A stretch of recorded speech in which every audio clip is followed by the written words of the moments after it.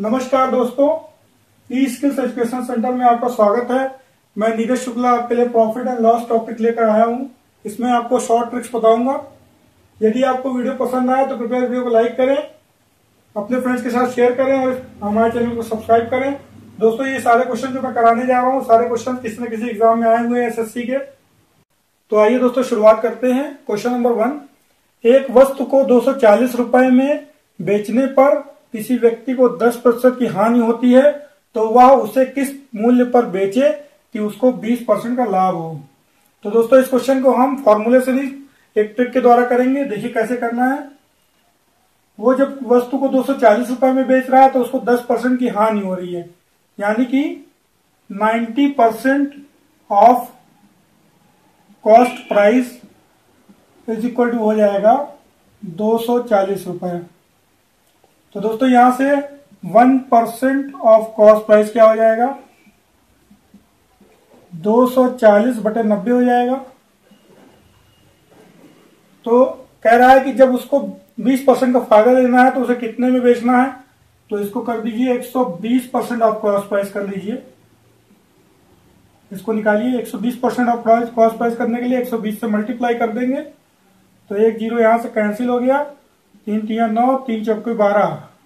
यहाँ चार आ गया, और यहाँ पे सॉल्व करेंगे तो यहाँ अस्सी आ जाएगा। तो अस्सी इंटू चार कितना हो जाएगा? तीन सौ बीस रुपए। यानी कि वो जब वस्तु को तीन सौ बीस रुपए में बेचेगा तो उसको बीस रुपए का, बीस परसेंट का लाभ होगा। तो यहाँ से आंसर डी सही है। एक वस्तु को चार सौ अस्सी रुपए में बेचने पर किसी व्यक्ति को बीस प्रतिशत की हानि होती है तो वह उस वस्तु को कितने मूल्य पर बेचे कि उसे 20 परसेंट का लाभ हो, इस क्वेश्चन को सॉल्व करना है। तो इस क्वेश्चन को भी दोस्तों, हम उसी कॉन्सेप्ट सॉल्व करेंगे। यानी कि जब वो चार सौ अस्सी रुपए में बेच रहा है तो उसको 20 परसेंट का लॉस हो रहा है। तो उसको 20 परसेंट का प्रॉफिट लेने के लिए कितने रुपए में बेचना है, ये क्वेश्चन में पूछा है। तो यहाँ से 80 परसेंट ऑफ़ कॉस्ट प्राइस हो जाएगा चार सौ अस्सी रुपए। तो वन परसेंट ऑफ़ सीपी कितना हो जाएगा? 480 बटे अस्सी हो जाएगा।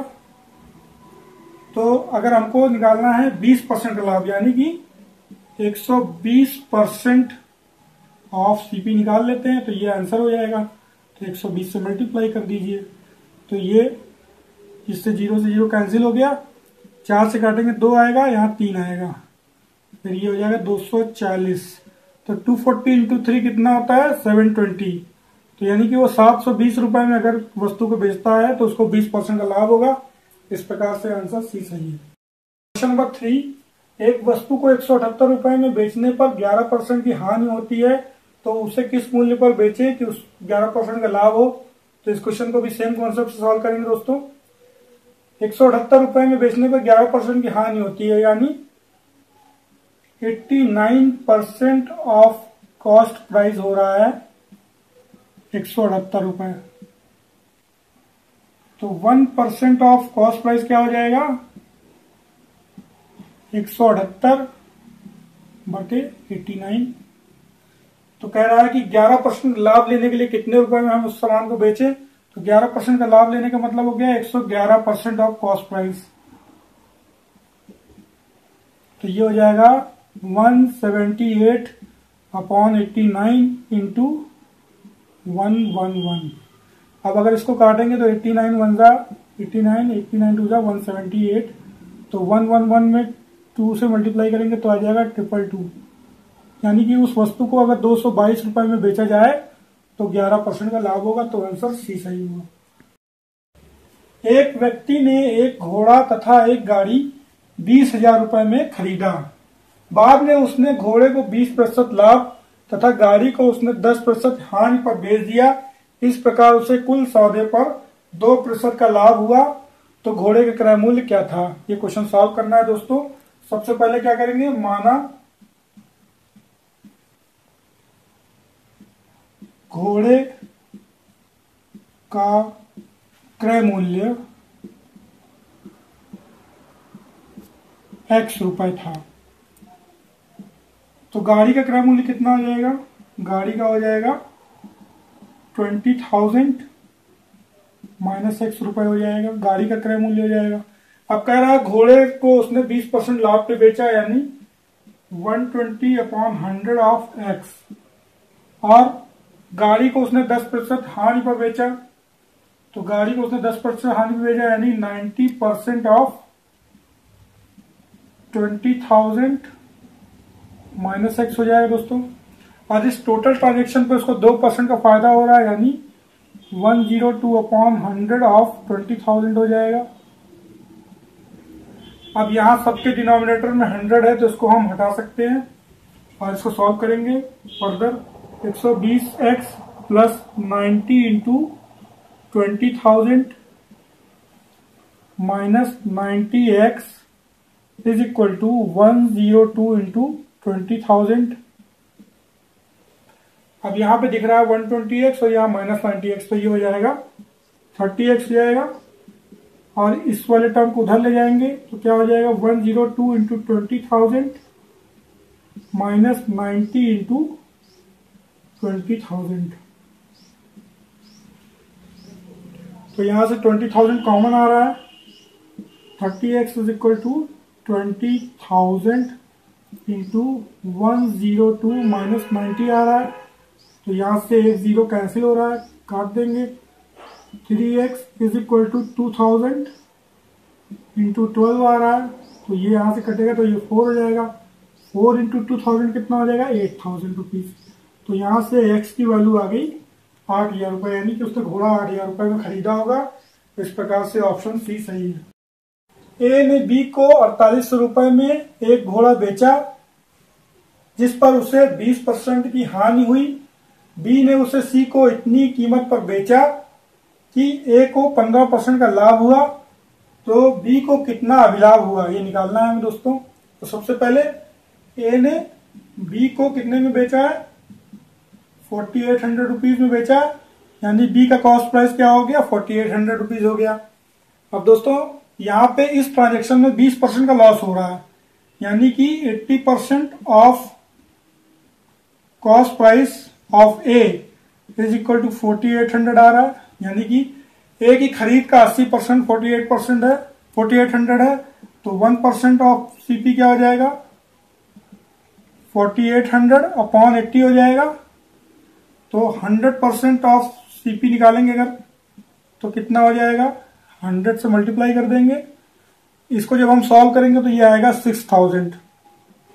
Six thousand rupees यानी कि घोड़ा जो है ए ने छह हज़ार रुपए में खरीदा होगा। अब क्वेश्चन में बोल रहा है कि बी ने घोड़े को सी को बेचा, इस प्रकार बेचा कि ए को पंद्रह परसेंट का फ़ायदा हुआ। तो पंद्रह परसेंट का फ़ायदा हमेशा कॉस्ट परसेंट पे कॉस्ट प्राइस पे फ़ायदा निकालते हैं। तो ए का कॉस्ट प्राइस सिक्स थाउज़ेंड है, इस पे पंद्रह परसेंट का फ़ायदा हुआ। तो क्या हो जाएगा? एक सौ पंद्रह बटे सौ। गुड़े साठ छ हज़ार। तो ये आ जाएगा हमारा। इसको सॉल्व करेंगे। एक ज़ीरो यहाँ आ गया, छह पंजे तीस। सिक्सटी नाइन हंड्रेड आ जाएगा ये। सिक्सटी नाइन हंड्रेड रुपीज़ आ गया। बी ने जब सी को बेचा, यानी बी का सेलिंग प्राइस आ गया सिक्सटी नाइन हंड्रेड। तो बी का प्रॉफिट निकालना है। प्रॉफिट ऑफ़ बी निकालना है हमको। तो सेलिंग प्राइस कितना है? Sixty nine hundred. और खरीदा कितने था? अड़तालीस सौ रुपए में खरीदा था इसने। तो घटा देंगे तो ये आ जाएगा इक्कीस सौ रुपए। तो इक्कीस सौ रुपए का फ़ायदा जो है, बी को होगा। तो यहाँ से ऑप्शन डी करेक्ट है। डेढ़ लाख रुपए मूल्य का एक मकान एक्स द्वारा वाई को पाँच प्रतिशत लाभ पर बेचा जाता है। वाई उस मकान को वापस एक्स को दो परसेंट हानि पर बेच देता है। इस पूरे सौदे में क्या स्थिति रही होगी, ये निकालना है। तो सबसे पहले दोस्तों एक्स का जो सेलिंग प्राइस ऑफ़ एक्स होगा वो हो जाएगा कॉस्ट प्राइस ऑफ़ वाई और कितना है? एक्स जो है, पाँच परसेंट फ़ायदे पे वाई को बेच रहा है। इसका मतलब हो गया 105 बटे सौ इंटू डेढ़ लाख। तो दोस्तों, इसको सॉल्व करते हैं। तो ये आएगा।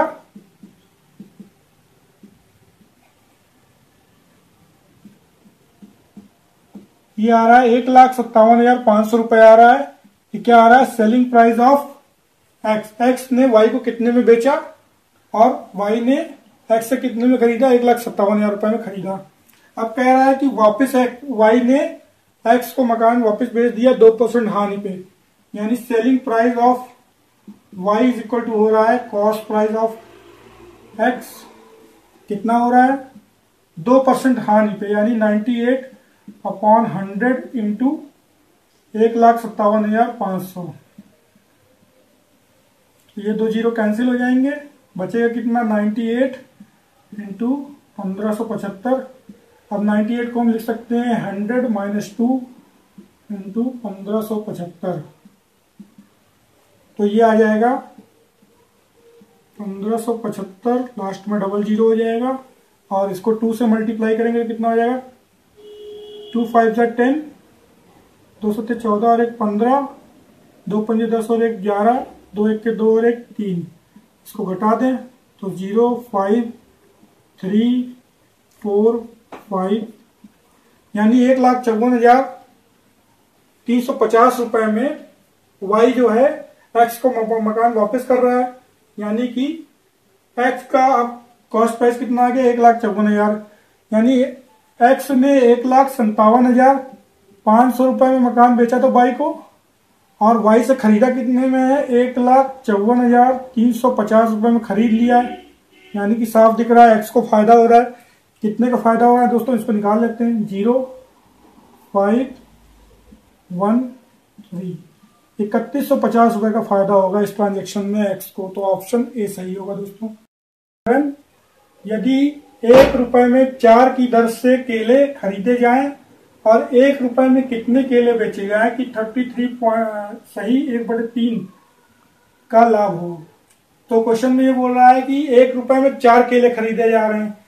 यानी चार केलों का क्रय मूल्य कितना है? एक रुपए है। तो एक केले का कितना हो जाएगा? एक बटे चार रुपए हो जाएगा। अब कह रहा है कि केले इस प्रकार से बेचे गए कि तैतीस सही एक बटे तीन परसेंट का फ़ायदा हुआ। तो एक केले का सेलिंग प्राइस निकालना हो तो क्या हो जाएगा? हंड्रेड प्लस थर्टी थ्री सही एक बटे तीन परसेंट ऑफ़ एक केले का क्रय मूल्य कितना है? एक बटे चार है। तो थर्टी थ्री सही एक बटे तीन को हम क्या लिख सकते हैं? हंड्रेड बाई थ्री लिख सकते हैं।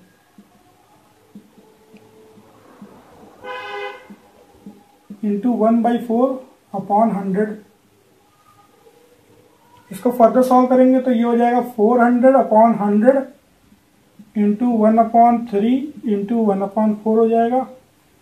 तो अगर हम इसको सॉल्व करेंगे तो दोनों ज़ीरो कट जाएँगे, चार से चार कैंसिल हो जाएगा। ये आ गया एक बटे तीन रुपए। यानी एक केले का विक्रय मूल्य, यानी सेलिंग प्राइस हो गया एक बटे तीन रुपए।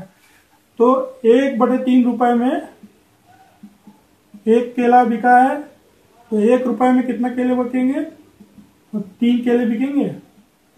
क्वेश्चन में यही पूछ रहा था कि थर्टी थ्री परसेंट लाभ पे रुपए में कितने केले बेचे जा सकते हैं? तो तीन केले बेचे जा सकते हैं। तो यहाँ से ऑप्शन सी करेक्ट होगा। महेश बयालीस दशमलव पाँच शून्य रुपए के पाँच सेब की दर से साठ सेब बेचकर बीस परसेंट का लाभ कमाता है। तो सेब का को किस मूल्य लागत पर उसने खरीदा होगा? तो देखिए, सबसे पहली बात, एक सेब का मूल्य निकाल लेते हैं। पाँच सेब का, पाँच सेब का मूल्य है, पाँच सेब का मूल्य है forty two point five rupees है। तो एक सेब का मूल्य कितना हो जाएगा? Forty two point five zero upon five अब वो साठ सेब बेच रहा है तो सिक्सटी सेब उसने बेचे तो कितने में बेचे? Forty two point five upon five into sixty तो ये आ जाएगा पाँच सौ दस रुपए। यानी कि वो साठ से पाँच सौ दस रुपए में बेच रहा है और इस पर वो बीस परसेंट का फ़ायदा कमा रहा है। यानी कि one twenty percent of cost price is equal to हो जाएगा पाँच सौ दस रुपए। तो यहाँ से one percent one percent of cost price कितना हो जाएगा? पाँच सौ दस बटे एक सौ बीस हो जाएगा। तो hundred percent of cost price कितना हो जाएगा? पाँच सौ दस बटे एक सौ बीस इंटू हंड्रेड हो जाएगा। अब यहाँ से एक ज़ीरो कट गया, एक ज़ीरो कट गया। इसको काटेंगे तीन से तो यहाँ सत्रह आएगा, यहाँ आएगा चार। तो ये आ रहा है सत्रह सौ बटे चार आ रहा है तो चार से डिवाइड कर दीजिए। तो ये आ जाएगा चार चौके सोलह। यहाँ एक बज गया, यहाँ ज़ीरो उतारेंगे। फिर ये चार दूनी आठ और दो बचा, फिर ज़ीरो उतारेंगे, चार पंजे बीस। तो इसका आंसर आ रहा है, चार सौ पच्चीस रुपए में उसने सेब खरीदे होंगे। तो ऑप्शन बी सही है। धन्यवाद दोस्तों।